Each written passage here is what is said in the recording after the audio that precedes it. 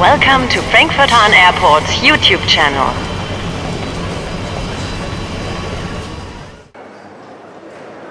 Petrus Dicken ist seit 15 Jahren Terminalleiter des Flughafens Frankfurt-Hahn.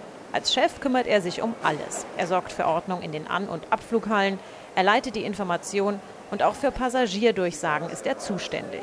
Einige tausend Sicherheitshinweise hat er in dieser Zeit schon angesagt.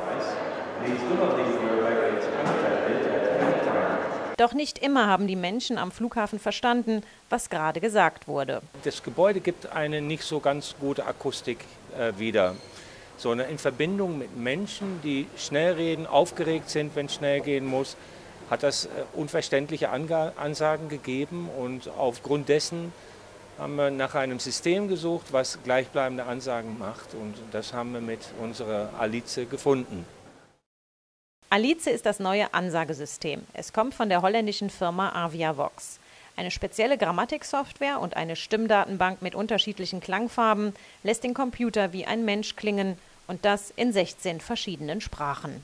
Wir fliegen beispielsweise nach Marrakesch, Nador und Fez in Marokko. Und wenn äh, wir den Bedarf haben, wenn viele einheimische äh, Passagiere da drauf fliegen, können wir auch Arabisch oder Französisch laufen lassen. Ansonsten die Standardsprachen natürlich Deutsch und Englisch. Achtung bitte. Die Passagiere werden jetzt von Alice informiert. Jedes Urlaubsziel kann in seiner Muttersprache angesagt werden. Ganz exotisch wird es in Arabisch.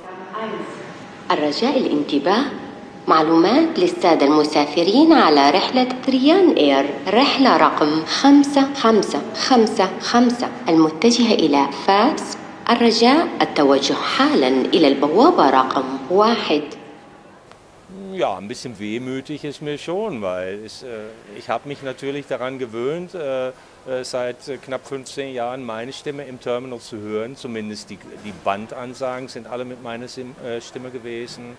Ja, tut mir schon ein bisschen leid, aber äh, es muss auch mal was Neues kommen. Und während die Passagiere nach der Durchsage von Alice schon im Flieger sitzen, endet für Petrus Dicken der erste ansagefreie Tag.